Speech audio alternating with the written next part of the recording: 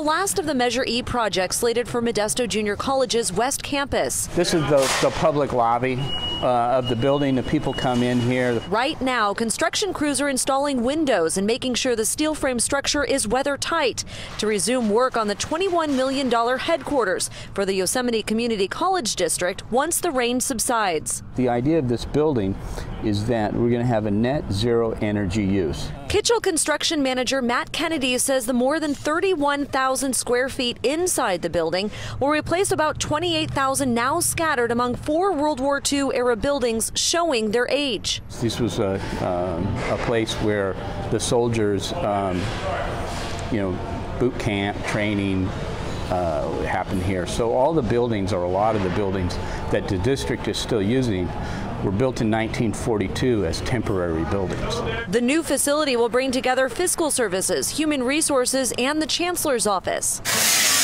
It will also include meeting space, reception area, and a large conference room. We're also using LED lighting um, to reduce the energy consumption.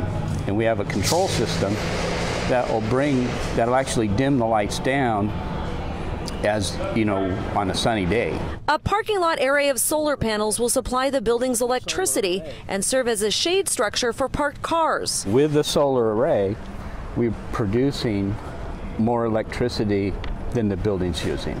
And a monitor inside the new structure will track its production and consumption, serving as a teaching tool for students and staff interested in renewable energy. At Modesto Junior College, Linda Mumma, KCRA 3 News.